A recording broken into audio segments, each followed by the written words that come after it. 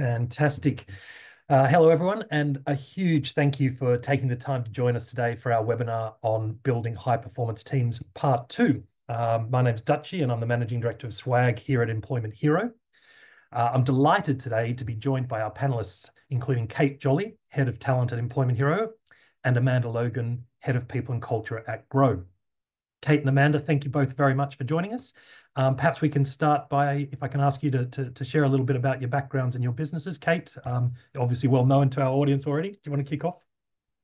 Yes, so very briefly, hello, for anyone that doesn't know me, my name's Kate. I head up our talent acquisition function here at Employment Hero. Been with the business for just over four years now and have seen some amazing scaling during that time period. We hire globally, we're remote first. So hoping that we'll have some great insights to share today. Fantastic. Thank you very much. And Amanda, welcome. Um, we're obviously very familiar with you and your business as a, as a good, great client of ours, but do you want to share with our audience a bit more about you and, and Grow? Yeah, awesome. Um, my name is Amanda. I've been in HR for over 20 years. Financial services is one of my passions. I joined Grow around three years ago. We're three years in February. Um, Grow is a startup. We're in our scale up journey. FinTech, we build um, really cool software for superannuation clients. So we're trying to put a dent in the universe and make Australians' lives easier by being able to access their super and do some really cool stuff with it really fast.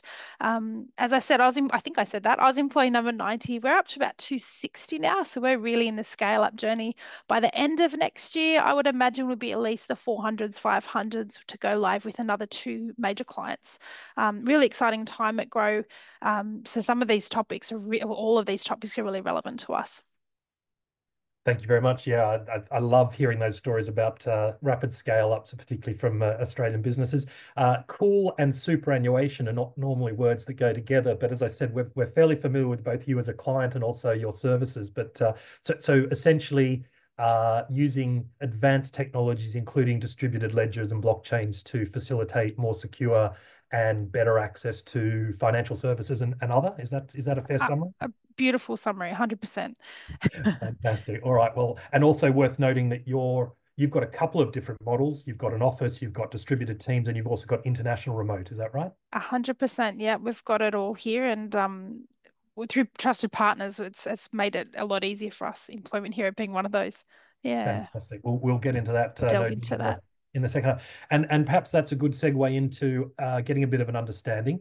The background to this conversation is that uh, we had a, a, building high performance teams webinar, and it, as a result of that, we got a lot of questions around two major areas of, of conversation. One was uh, recruiting uh, and and and using um, uh, the most advanced technologies and techniques to to recruit, and the other was managing remote teams, both remote domestic and remote international. So we're going to kick off with this poll, uh, and I just ask people to share with us where, where the, the, the, topics of most interest to them, and that will help us structure the conversation because we've got a lot to cover in a short period of time. Whilst that poll's up, um, as usual, we will have at the end of the webinar time for your questions. So please type them into the Q&A box at the bottom of your Zoom screens, and we'll get to as many as possible uh, either at the end of the discussion or if we see relevant points, we've got our team, they'll be curating and surfacing some questions that might be relevant to the conversation as we go.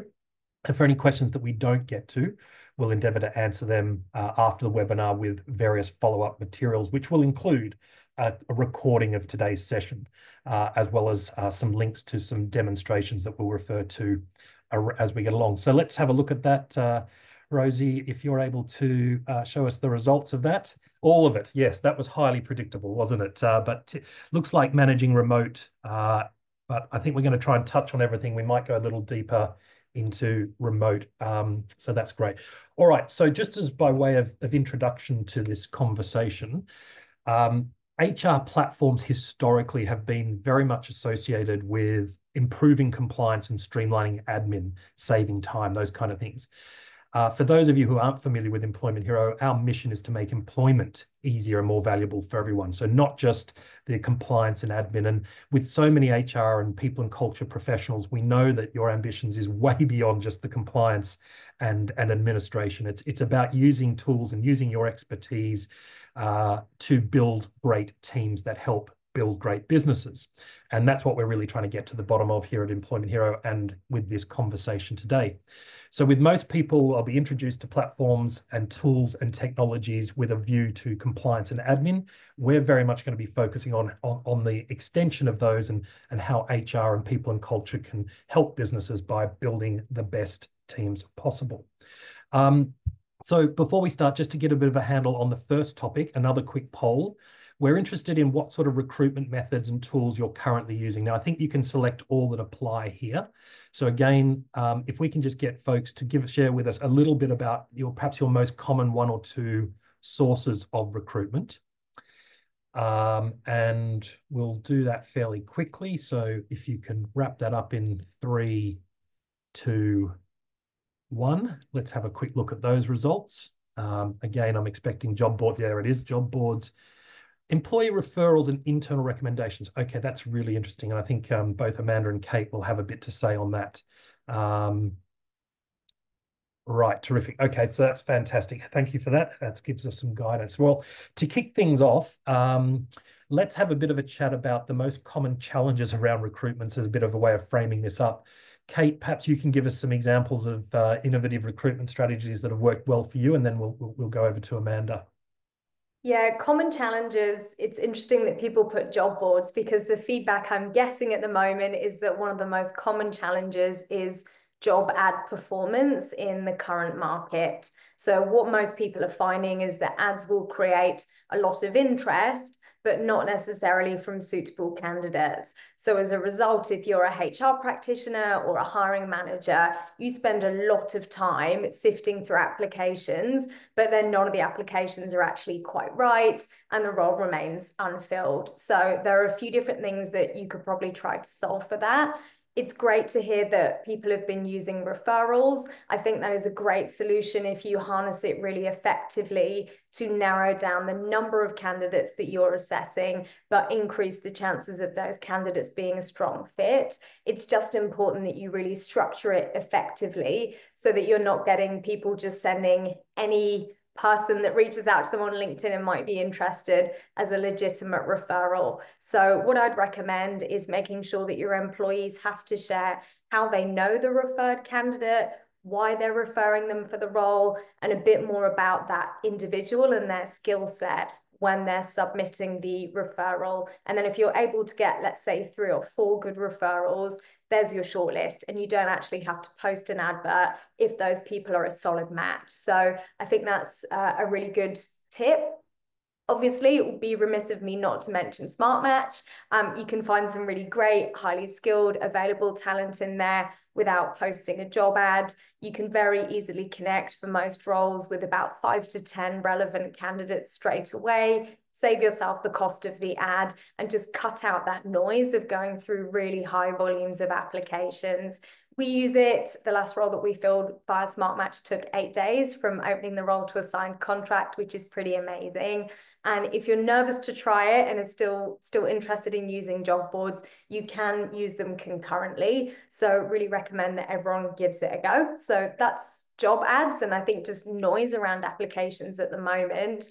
I think another really common challenge is getting people who are really invested in the business and want to put their heart and soul into it rather than finding someone that just sees it as a job. Everyone out there wants to find super invested, super engaged employees, but it's hard. So I think some common ways to tackle that that I've seen work and what's worked for us firstly ensuring that the mission of your organization the vision the values are really clear. Share it everywhere, careers page, pre-interview, etc. A really good tip if you're using an applicant tracking system is to set up an email template that's got information about the business, your mission, all that good stuff that's really enticing, really hopefully gets the candidate to buy into you as an employer. Send that out pre interview. And then if they show up for the interview, they should be really bought in, having read through that. And if they're not, then perhaps it's not quite a fit. Um, interrupt me if I'm going on too much because I know that we've got a lot of uh, to go through today, Dutchy. But The final thing that I'll mention is just I'm hearing a lot about salaries and managing candidate salary expectations at the moment. I think a lot of organizations are struggling to know whether or not they are paying appropriately for their roles. Are they underpaying? Are they overpaying? It's a really difficult balance to strike. And I think it's especially difficult for SMEs because a lot of the benchmarking will take into account enterprise organizations that are looking for different types of candidates and just have very different expectations. Also, a lot of the information that's shared on places like Glassdoor, for example, is self-reported. So it's difficult to know whether or not it's accurate. And if you use something like a recruitment agency salary survey, typically not in every case but typically it's based off of a very small data set so it's really really hard when you're going into that negotiation process um, again we have a tool for that check it out if you go onto our SmartMatch website we've got real-time salary data from over 300,000 businesses it's not self-reported it's aggregated and it's anonymized data that's taken from our platform. It is a really great way to sense check the median salary for any role. So check it out. It's live throughout the whole of Australia and UK is coming soon and Southeast Asia soon after. And I'm going to shut up and let Amanda talk. There's a lot there. Thanks for that, Kate. I think um, the the the um, label that, that some people may not be familiar with is employee value proposition, but you touched on there and you were talking about getting your brand, getting your business information and why people might want to work for you out there. And perhaps Amanda can touch on that a little bit in in her response. But Amanda, over to you. I mean, in terms of you know the common challenges that that you you face at Grow or that you see your peers facing. Yeah, um, I guess in addition to Kate's, for us, I haven't seen the market like this in a long time in all my experience. I think for us, it's truly a candidates market. You know, they'll be going for interviews and it's the speed that we operate with them. You know, they could be going and have one or two offers on the boil at the same time, which is quite frustrating when you're trying to sell the story and sell the opportunity that you have in front. So for us, it's about speed. We have an internal talent team, which makes it a little bit easier for us. We don't use recruitment agencies per se. Um, so our our guys can act, I guess, quickly and swiftly. They've got a direct line of sight to the leaders, our people leaders, so they can get in there a bit quicker. So for us, it's about speed, um, getting back to the candidates. Um, and having an engagement engaging experience Dutchy, you talked about your evp it's for us it's it's about that you know how to why would someone want to join grow versus down the road? You know we need to make it really sticky for them even when they they start the process they don't want to leave it. Um, so really um, for us it's about speed constant communication keeping them updated. We get a lot of feedback from candidates saying that our recruiters are doing that with them which is great. Um, and the other thing I think we've really had to change um, and keep an open mind in the shape of our organisation and what kind of people we're employing. So we can't be so traditional and um, inflexible thinking we just need a permanent person in here. We need to think about, you know, do we do a fixed term contract? Do we do contractors for a short period of time until we find someone? Um, we've been fortunate enough that we have an operation in the Philippines. They're employed through Global Employment Hero. Um, and so we're actually looking at how do we expand that, op that opportunity over there. There's a untapped resources over there and some great candidates. How do we get and how do we build that team? Uh, last week, we joined um, forces with Remote Hero, which is an arm of Employment Hero. Um, so they're like a recruitment agency um, for Employment Hero, and probably not doing them justice in their their um, their their lib, but they're um they've sent us through a number of candidates already, and we only joined with them last week. And that's just to build the footprint, you know. And they it's a one stop shop. It's been great. So you just have to think. We just have to think differently in this kind of market, like as Kate was saying as well. We have to think of all different things. Yeah, thanks for that. We might come back to um, international hiring yeah. as part of the second half of this conversation. Sure. But in terms of um, Grow's EVP, and again, for those who aren't familiar with the expression employee value proposition, it's really just a, a, an expression to uh, reflect the way in which you, your brand as an employer, the reasons people should want to come and work for you beyond just salary, what's exciting about your organization. What are some of the ways in which, uh, what is Grow's sort of EVP as an, as an exciting, high paced um, growth growth business. I mm-hmm. think that's probably core to it. But how do you how do you get that out there? What are some of the practical ways that a business can get their EVP out mm. into the market? Yeah. For us, because we are trying to disrupt the market and we are winning big clients that we never thought we would win, or we we thought we'd win them, but you know, it's people in the industry may not have thought we'd win them. That's kind of helped us a lot. The other thing that we've done is we've spent a lot of time up uplifting and um, redoing our whole LinkedIn profile, to be honest. Um, we advertise and we it's kind of like well it is social media. We post on linkedin every two every second day every third day really you know value add important stories. It's just not something for the sake of a, a click. Um, but we've spent a bit of time on that. We've got a lifestyle page on our linkedin on our linkedin page now just getting some more traffic. We've had lots of um, a lot of traffic through there which has helped us yeah, I think um, LinkedIn's a useful tool. I know that Kate's team, mm. Kate and her team use it. Um, I'd, I'd, also pick up from that that recruitment isn't something that you start when you have a vacant role. Recruitment is successful recruitment or, or really high class recruitment happens all the time. Is Kate or, or Amanda, do you want to reflect on on that? Yeah, for sure. I think it has to be of course, you're going to have some short term tactical initiatives that you roll out when you're really actively hiring and need someone in the door. But you have to have those more long term plays around how you build your brand, how you go out and find candidates, how you generate really great referrals, all the content creation that then makes it that much quicker and smoother and easier when you do really need to fill a vacancy quickly. Yeah, and I guess that's easier for larger organizations like Grow and, and Employment Hero. I guess for smaller businesses, it's still important that you are present. Like for example, Amanda posting through LinkedIn, keeping your your business and your your objectives and your mission and your values out there on LinkedIn. And I think that's something that anyone can do. It doesn't necessarily take a lot of time. It, it can be quite simple things, but it becomes incredibly powerful because when a candidate comes in to apply for a role, a lot of the things that they look at will be the news articles on your business, but your LinkedIn profile and what you've been posting over the last year or so. So I think that's a really important tip. But um, uh, uh, Amanda, you mentioned that we're, we're in a bit of a candidates market at the moment. I, I have a sense that we might be at the peak of that, that the pendulum may start to turn. But but given the high cost of vacant roles, I think people should fully understand that that vacancies and employee churn has a high cost and leaving those roles open can really uh, impact the growth of your business.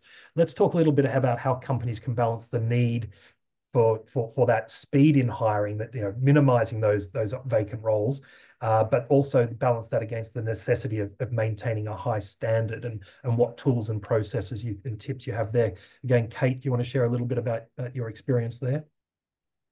Sure, yeah. So I think again, you have to balance those sort of long-term initiatives and then also some tactical things to get some more quick wins. So a really great sort of mid to long-term initiative is to introduce a way of measuring your quality of hire. It could be a hiring manager survey that gets sent to them when the employees maybe four to six months in. It might be based off of their performance appraisal results whatever. There are a multitude of different ways of, of doing it. Select what you think is the best fit for your business. But if you monitor those results closely and then use that data to inform your future hiring strategies and initiatives, you will start to see some really good results. So, for example, if you find that like a significant portion of your hires don't work out because they don't have quite the right attitude, then that gives you a really clear thing to focus on. You need to revamp your hiring processes to test much more thoroughly for that and place a lot more weight on that when you're going through your interview process, designing it, thinking about who's sitting in, all the rest of it. So really recommend that as, as a long-term initiative. In terms of some quick wins and how to actually speed the hiring process up while balancing that with quality, I would recommend focusing on like speeding up the time taken between interviews, time taken to share feedback. For example, maybe the candidate does three interviews in one week first round Monday, second round Wednesday, third round Friday. So you can move through the stages quickly, but then balance that by maintaining a sufficiently long hiring process with plenty of stages and plenty of time spent with different members of the hiring panel. So reduce all the administrative stuff advertising, waiting for feedback, scheduling, but then maximize the time you're actually spending assessing that candidate and checking the fit. Yeah, so so having that process where one interview finishes and they go, "We'll be in touch," uh, and then waiting a week or two before the next step is is is not helpful. I, I, I hear that. I guess that requires collaboration with your hiring managers. And I know, Kate, you've spent you've invested a lot in in trying to get uh, your hiring managers as partners to your team. So making sure that you're on board and got them and they understand the importance of of quick turnarounds and and fast decisions. Okay, fantastic. And Amanda, um, from your perspective, what what how do you balance that need?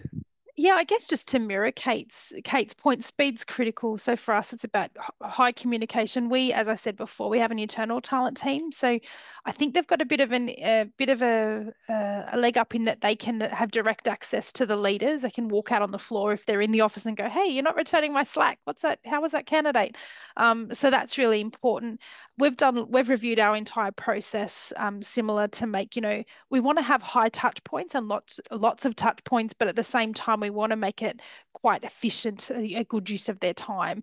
In some tech roles, so for like an engineer, for example, we might do an, a tech interview first um, in the as part of the sourcing or the screening process. So my talent guys will have four or five tech questions to ask. If they pass through that, then we'll hand them over to a team leader just to to to, to I guess shorten the process a bit. Then we'll dip into some you know more of a tech interview and some culture stuff is really important for us as well um, to make sure we're covering that off yeah, getting those those people engaged with the uh, with with the existing team is really important. And and given that you're about to, what did you say earlier? You, have got what's your goal for this year in terms of recruitment? Oh, this year we'll we'll at least get to another 50, 100 people, and then uh, towards the end of next year, I would say would be at least 400, nearly to 500 yeah, people. Okay, so yeah, you're really so huge. explore yeah. all avenues and opportunities, as you said at the outset. Um, I'm going to throw in here a question. I'm going to bring one of the questions up that's been asked hmm. um, because I do think it, it's you, you two might actually be on the other side of this equation. But but we've had a question around. Um, uh, they've referred to them as tier one and tier two businesses. But I think what they're sort of saying is, you know, you've got the majors, you've got the brands that are well known versus mm. their business, which perhaps I suspect is is less well known, and they're struggling to find to recruit. Um, the question is, how do you compete as a smaller business against a bigger business? I think is the answer. Is the is the is the question. Um, they have a fantastic EVP. They've invested in, their, in developing their EVP. What else can they do? So specifically, Amanda, as a, as a when you were a smaller business, when people were doubting that you were ever going to be able to take on a very large multinational industry and win, how, how, how did you try and convince people to join and Grow? Oh, oh, and sorry, specifically, I think they've referenced salaries as an area where they struggle to compete. Right. Yeah, salaries is a difficult one. I'll have to I'll think about that and come back to you. I think for us it was about just building presence in in the market. You know, we have an EVP. How do you get that out? And it's about I keep saying my internal talent team, but they just used to send out so many source, like they'd go out to source. So not only do we post an ad and we get candidates to apply, we also do headhunting and sourcing ourselves. So the team will set up projects on LinkedIn and then they'll, or whatever uh, job boards, etc. They'll set up a project and they'll have to do outreach. You know, you may send out about 100 emails and you'll need to you know do that through linkedin and you may not get that many replies back but it's about the headhunting as well.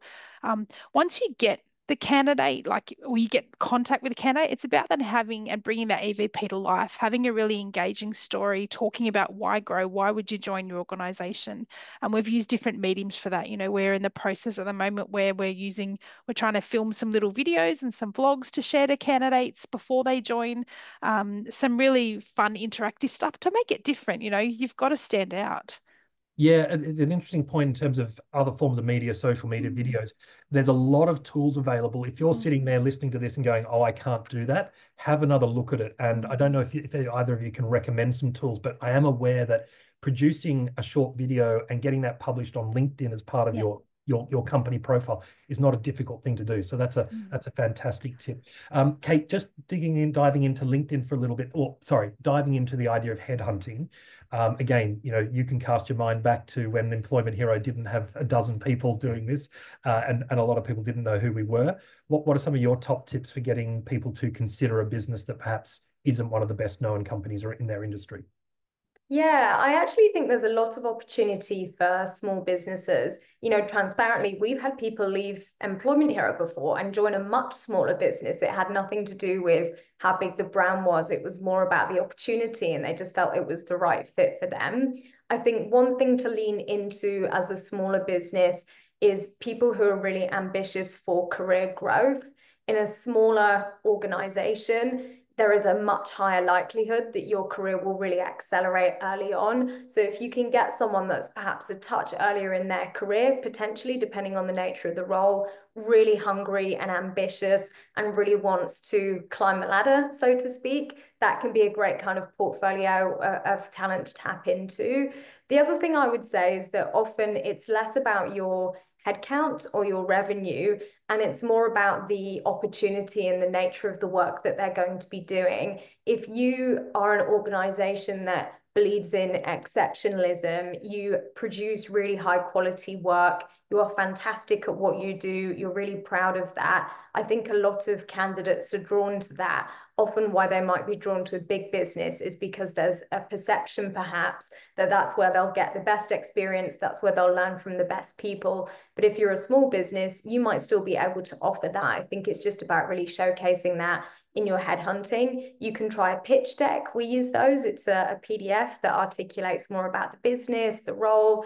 We use you know canva and other things so that there's good graphics in there. It's very engaging try video we use loom there's a, a bunch of different things that you can try to make it particularly engaging on that that initial outreach. Yeah, thanks for that. I, I, think the particular question that came in was in a trade industry, and I think uh, coming back to doing good work, quality, customer satisfaction. I think as a as a as a young tradie or even an older tradie, um, knowing that you're working for a high quality organization as against a place which is just a churn and burn because of the volumes and size would be one opportunity there. Um, one uh, observation that came in, it wasn't so much a question as an observation, is is perks. And I think uh, this is an area, Kate, that you've invested, we've invested in quite heavily. I'm less familiar with Grow, but you know, what role do perks play in distinguishing yourself? Yeah, it's a it's a tricky question because it all depends on the candidate. Everyone has got something different that they're looking for. For some, it's salary. For some, it's remote work. For some, it's flexibility. For some, it's perks. I think generally speaking, the best way to think of perks is that they should support the messaging that you have across your whole business and what you stand for. So I think we talked about this a little bit in a webinar previously, Dutchy, but I know that Airbnb, all of their perks, I'm not sure if this is still the case, but they linked to their mission. So people would get to, you know, more time off for traveling and the opportunity to go and work remotely. It kind of was relevant to and all tied into what the business stood for. I think if you're not careful, you can get caught up giving perks for perks sake but actually you want to make sure that what you're offering is relevant to your mission and then you're attracting the right sort of people that's probably um yeah the best best summary I could give on perks. Yeah, all right, Amanda. I don't know if you've got any strong thoughts around uh, around that. No, nothing further to add. We're we're in the process, as we said, as I said, we're still building out our big our business. You know, um, mm. so we're in the process of reviewing our perks now and our benefits. Yeah. One thing I'd say around perks is whatever you decide on, make sure you articulate it and communicate it really well because there's no point having them if people don't fully understand them, and uh, and that's that. Um, so moving into the, the, the next question, which is around sort of specialized skills, and I, I saw a question pop up, which has I think been answered uh, online, but it was actually referring to NDIS, and and I think the essence of the question was super competitive space, high turnover as people sort of jump between roles, high high employee mobility. Um, so perhaps we can keep that in mind as we think about specialized skills. Um, and just to mix it up, Amanda, I might come to you first with your with your uh, emphasis on technology. But are there when, when you're thinking about deeply specialized areas, you know, what what are the platforms you recommend in terms of trying to get that diverse candidate base and, and, and maximize your breadth? Yeah, um, we uh, we our organization's funny. When i first as i first joined the shape of the organization is changing. So we're really heavily focused on the tech side the engineering side and we are struggling to find some good candidates around that. So we put a lot of emphasis on that. The pendulum has shifted. You know we have a good supply good pipeline of engineer candidates and we've done that through you know building up our presence on linkedin um, employee referrals the internal talent team etc and using other tools available to us. The pendulum it has swung and it's more now in the space where we're challenged for specialist skills because our organization's aging around, you know, transition, superannuation, project management, all those types of skill set. Um, so for us, we have the most crazy unique skill we're looking for something so particular this unicorn out there that sometimes we're forced to have to go to or not forced sometimes we'll have to partner with a contractor and do that for a period of time until we find our unicorn. Um, and then when you get them how do you hold on to them? It's really important. Um, that's such a key. Uh, but like you were saying before like we were saying before the absence of that skill set it can delay projects it can delay delivery so we need to think differently and keep an open mind um, within reason obviously with within budget, etc. And that's why I guess also we've tapped into maybe looking outside different markets, you know, increasing our footprint in in other areas. We're starting in the Philippines because we have a team there, a good core group of people, but we have had staff here that have wanted to move to like Hong Kong or to um, New Zealand, and we've supported that through again um, the help of our our global our global arrangements. Yeah. Uh, and actually, just sort of reflecting on your team in the Philippines, originally you worked with a business process outsourcer, which just yes. to be clear in terms of what that means, they recruited, employed, trained, and retained the team and allocated them to work to you. And then a couple of years ago, you guys made the decision that you wanted to have a closer, more direct relationship.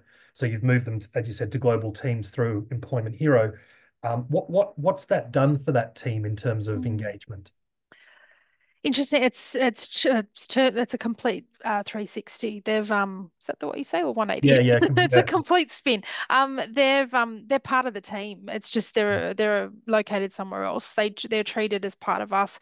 They feel um confident, secure, comfortable.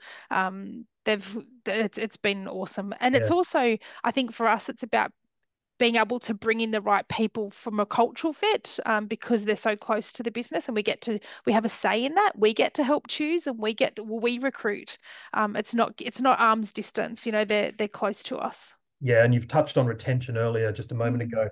Yeah, retaining a great employee is so much easier than trying to find, hire, yeah and train up a new one. So that we, we actually discussed retention as part of the original uh, episode. So if you haven't heard that, you can you can download that online and watch that around retention. Kate, in terms of specialized areas and and out of the box thinking that you use to to, to broaden the pool, uh, do you want to just cover that and then we might move on to remote work?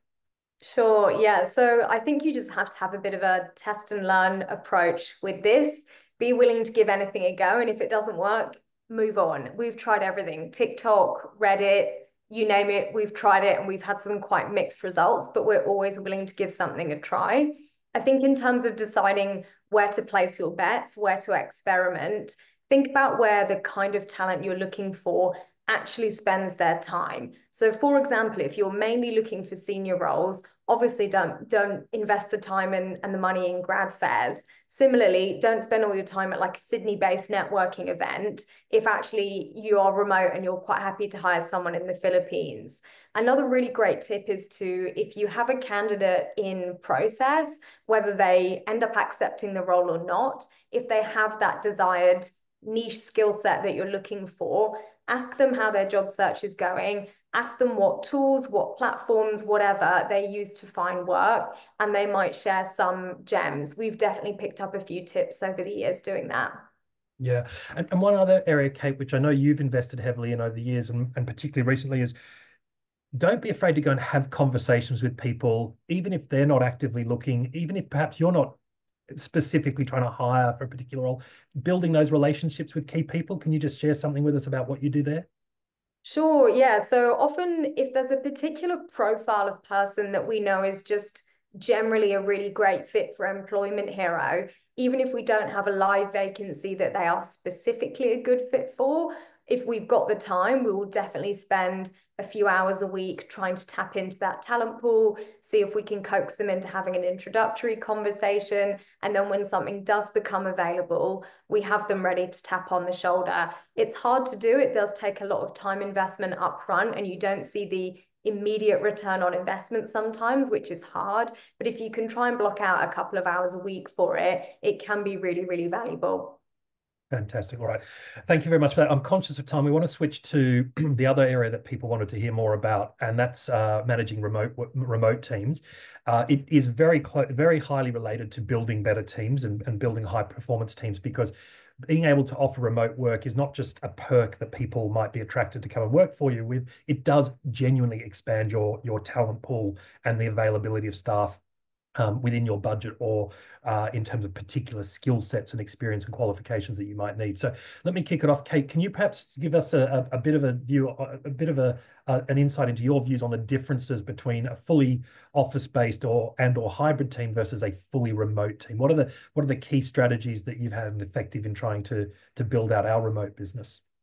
Sure, yeah. So for anyone that doesn't know, Employment Hero is remote first. So most of my experience has been over the last few years in a fully remote environment.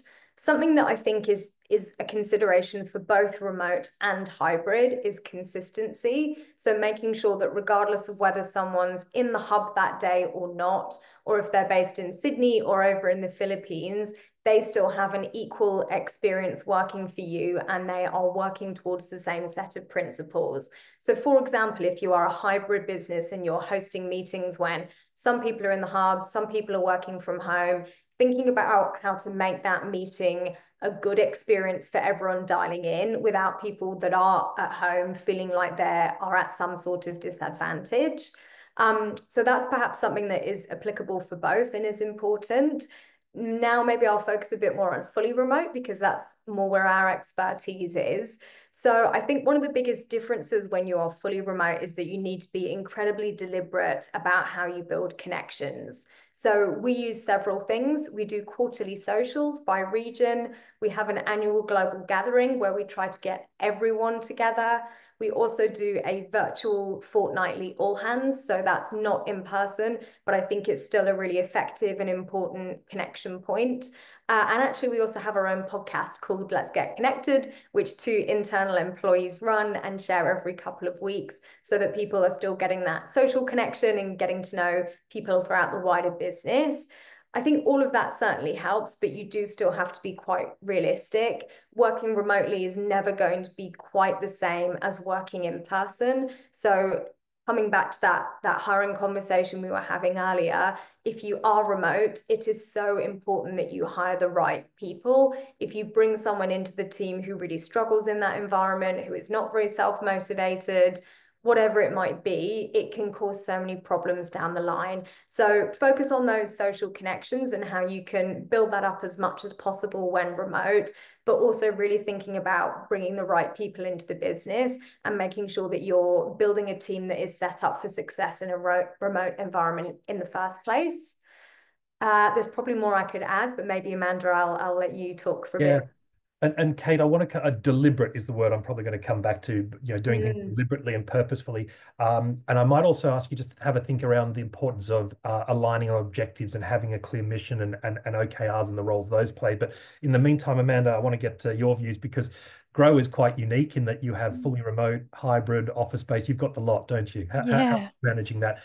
I'm conscious that I've got some questions around culture. We're going to come on to that. Perhaps mm. you can start with just dealing with the practicalities, and then we'll deep dive into culture. Yeah, um, similar to Kate's, we are hybrids. Um, we have a, a, spread across Australia and the Philippines, obviously.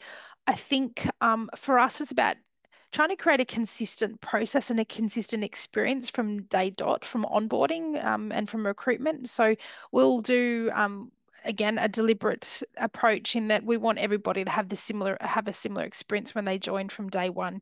We um day one we try and get everybody in a office so that they have that face-to-face contact. It doesn't work in the Philippines obviously, but for the other states and and places in Australia we are doing that. Um, so for us, it's about being consistent and trying to build connections. I know for my team, for example, we use Slack a lot and the company uses Slack. We have a not, I have a not negotiable one day in the office a week and I'd hopefully more managers will do that. We've just moved offices and we've got this beautiful space in in Elizabeth Street. So we have a not negotiable every Tuesday. We're all in the office, my team. We have lunch together every morning. We message each other on um, on Slack. Um, we have a team meeting on a Tuesday in person.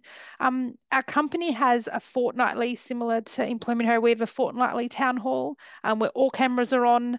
Um, and if people are in the office, they all sit in a room together um, and and do the do the meeting meeting. Um, it's just the little things, you know. Even on a Friday, my team will meet for a wind down, and it's not wine as in drinking a glass of wine, but it's a wine down. You know, how was the week? What did you enjoy about it? What are you doing on the weekend? It's those little things. Um, it's about using technology not to replace, but to enhance and to and to complement all the other stuff. You know, it's so different working, you know, in the office when you're out of the office, etc. We all know that. But so how do you how do you replicate those connections and build those connections? Yeah, okay. And I, I just want to use this as a segue into this this deliberate and purposeful. I think um, just to offer my reflection on this, when when the world went remote by force uh, in 2020, a lot of people just sort of lifted and shifted the way of working that they had in the office to from your desk at home. Uh, and we don't call it working from home, we call it remote work for that specific purpose. And I think I've heard Kate say that on a number of occasions. Um, so, so, so you have to accept that actually the investment that we've made as businesses over centuries in office-based working or site-based working has resulted in some very clear, deliberate processes and practices. And people talk about these water cooler moments, but I think they're they're probably not as big an impact on businesses. If you're able to take that same level of deliberate design, purposefulness, and invest that into remote ways of working, I think people will realize they'll have a fundamentally more successful and productive result. And Kate, I might just come back to you in terms of um, some additional ways in which we do that at Employment Hero. Uh, alignment on mission, clarity around where we're going. Yes, you're not standing there as a manager looking over the shoulder of your employee, but you don't have to because they know what they've got to get done and you can see them doing it. Can you share a little bit more about how we manage that? Sure, yeah. So obviously in a, in a remote environment, people are less visible. So how you set targets and how you measure performance is especially important. I think we've had a very strong record of measuring based on outcomes, not inputs. If someone is not meeting targets and their work is not of a good quality, that's your sign to intervene and have a conversation with them around it. Even if, for example, they're online on Slack for a long period of time, or it looks like a lot of hours are being spent, you really have to focus on outcomes, I think, when you're remote. Very objective, easy to track, and put in place some way of measuring it on a daily basis. If it's, I think of like the go to market team and revenue targets, they would use Salesforce. We use something called Pigment. We also have our company wide OKRs that obviously we use in Employment Hero. Just make sure you've got an easy dashboard to track performance and keep on top of it would be a good tip. Coming back to your comment, Dutchy, around mission, vision, values, how you ingrain all of that. There are a bunch of different ways to think about it. Obviously, we use reward and recognition. So, people who are living our values and are aligned to our DNA will get recognized for that in the platform. We also host Values Champion Awards every year. So, people who have been most recognized and most acknowledged for being aligned to our ways of working also have the opportunity to win certain prizes and get some extra acknowledgement for it. I would say that you could also embed that much more deeply into the whole employee life cycle. So we talked about hiring for the right people. We've talked about reward and recognition. Think also about your onboarding. How can you really effectively onboard people so that they are invested in your mission, understand what good looks like, know what their targets are, just set them up for success from day one. And you can probably also really weave that into your performance appraisal process as well. So rather than just measuring someone's performance based on day-to-day activity in the role introduce you know are they a good fit for the culture are they working effectively remotely whatever it is that you value as an organization make sure that the individual is measured against that as well as day-to-day performance in role yeah, fantastic. We talk about values a lot, um, which I've got mine on the, the back of the door in my my office here at home. Uh, but but shout outs you touched on. Shout outs are just a, an incredibly cost effective, free uh, way of, of, of encouraging people to live and show and demonstrate uh, your your ways of working, your company values. If you've got Employment Hero already and you're not using shout outs, please look at some of the the help articles, get them uh, activated. It's very simple. You just need to really make sure your employees are aware that it's there. They love giving out acknowledgement to their colleagues who have have come along and helped and gone above and beyond and it's just a way of, of of, building that sense of community remotely so so if you're using employment hero and you're not using shout outs please go away and have a look at that awesome we've had a question from eva which i think is a great segue into our next topic which is around um, culture. Um, Eva's business has approximately 60 offshore workers. Amanda, I'm coming to you for this one because they've got uh, 60 uh, staff in the Philippines. Um, they're struggling a little bit with, with, with cultural fit, which I'm not sure if she means that from a recruitment perspective or specifically from just a culture, ongoing culture. Um, how how is Grow uh, maneuvering through that? How do you manage that cultural fit with your um, fully remote, internationally remote teams? Yeah, for those guys, um, it's part of our recruitment process. So we have, um, it's called the Grow Way. We have a number of behaviours that are really important to us, our desired culture, what we want to be, and what we want to see more of in the organisation. So we recruit against those, and we get managers and leaders to ask questions around around those. We can assess. Um, what happens then is obviously um, we have um, the guys are remote, uh, the, uh, the guys are over there, but they report through to a team lead potentially that's based in Australia. So they have, they're embedded in the teams. They're not a separate team. So if you've got 20 people over there, they could be part of like 20 teams here. It's not just one team over there in isolation. We've embedded them into our teams. So they're working next to um, remotely um, peers that are in in Sydney, Melbourne, Brisbane, where where have you. Um, so we found that's that's helped. Um, they're all part, and they're also part of all the ceremonies, the team meetings, everything. They're, they're just it's it's they're part of us. It's it's hard to explain it more than that. yeah. Um, yeah. But it's that idea that they're not a separate remote team to themselves. They are yeah. in the team yeah. And this comes back to sort of that deliberate nature that we, we we talked about earlier. Look, I might come back to you with some further thoughts on this, but mm-hmm. um, Kate, in terms of specific tools and specific uh, ways of working, what what are the fundamentals to to your to, to the remote success that you've seen? Yeah, well, speaking firsthand, I suppose what's worked for us, I can share. So obviously, we use Employment Hero. We also use Slack and we recently upgraded to the enterprise version of Slack. And I think that's been a really good way of making sure that people have got an opportunity to connect async across different time zones, but it also increases the visibility of information. So one thing that we are really pushing for and we've had really good results from is encouraging people not just to connect via a DM on Slack, but actually we have a lot of channels that link to our OKRs or different initiatives across the business and people will share messages in there. So there's a lot of visibility of information. We also use Confluence. We have a really strong culture of documentation. I think that's super important in remote work and has been a really great tool for us as well. Thank you. Yeah. Um, in, in terms of uh, other best practices, uh, you, you touched on it earlier. I think we have to acknowledge that remote work is not for everyone. In fact, I've been involved in interviews uh, where somebody has expressed a view that that without um, a, site-based office at least a few days a week, they they they didn't want to work for us, and and that's going to be you know twenty percent of the workforce. Equally, we have to acknowledge there's a big percentage of the workforce, a similar size piece of the workforce, that really lean very hard towards remote work for, for a bunch of reasons. It might be uh, physical capabilities, it might be personal and emotional introvert type qualities. Uh, have you seen, do, do we recruit for that? Do we retain for that? Have you seen a shift towards those kind of people in our business? Yes, we recruit for it very heavily. So as an organization, we have a document where we've really clearly defined our values, our operating principles. We call it the EH way. We are crystal clear on what that looks like. It's very objective, and we've embedded that into our recruitment process and also beyond with all those things we just touched on before. So, particularly during the recruitment process, there are a couple of key things we do.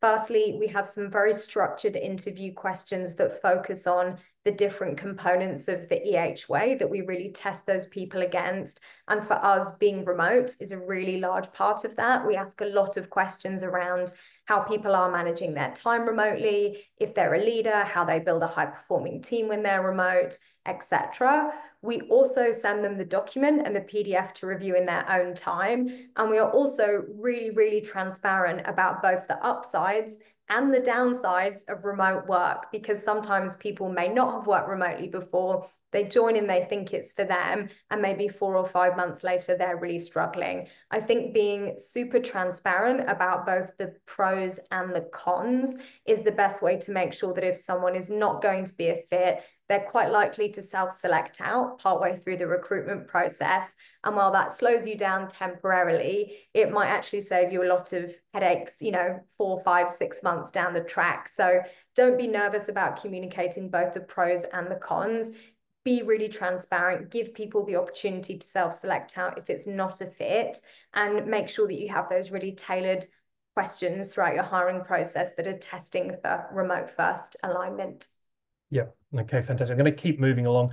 Amanda, just coming back to you in terms of those practical tips um, in for managing remote. You mentioned earlier video town halls, those kind of uh, connections. Is there anything that we haven't covered off in terms of specific practical goals?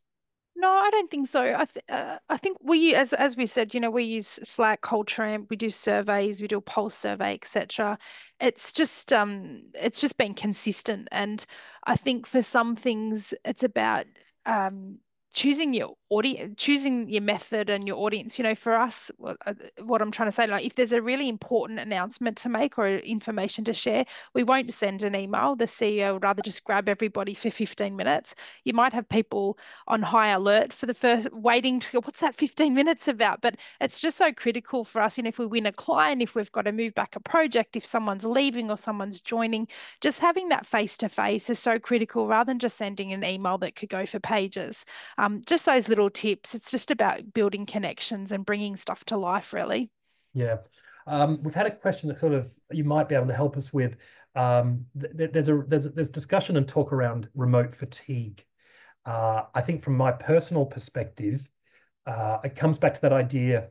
I want to be really careful around how I word this, but the, the, the muscle memory and the habits that have formed over centuries of office-based work might make it feel like it's easier to supervise and manage someone when they're directly in front of you and showing up every day. But I think what I've learned from going remote is that showing up is not a sign of productivity. FaceTime is not a sign of productivity. And actually, if we were to manage people to full productivity whether they're site-based or remote-based, it is fatiguing as a manager. It takes effort. But there is there anything around um, remote that, that, that you guys do from to try and alleviate managers and support managers who are managing remote teams?